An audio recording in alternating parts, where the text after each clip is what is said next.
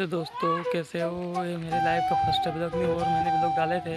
जैसे कि आपका सपोर्ट क्योंकि वीडियो में कुछ भी नहीं मिला हमें तो आप आगे जाकर थोड़ा मुझे भी सपोर्ट करें, क्योंकि मेरा नाम है विजेंद्र अटर मैं मध्य प्रदेश के छोटे से ज़िले से आता हूँ। और जैसे कि मैं पढ़ाई के बारे में बात करूँ तो मेरी ट्वेल्थ कंप्लीट है। और जैसे कि मैं एक छोटे से किसान का बेटा हूँ। और बात करें कि मेरे और आगे जाके मैं भी थोड़ा बहुत कुछ कर पाऊँ, मेरे माता पिता के और अपने माता पिता को उम्मीद रहती है कि अपना लड़का कुछ ना कुछ कर पाए और अपने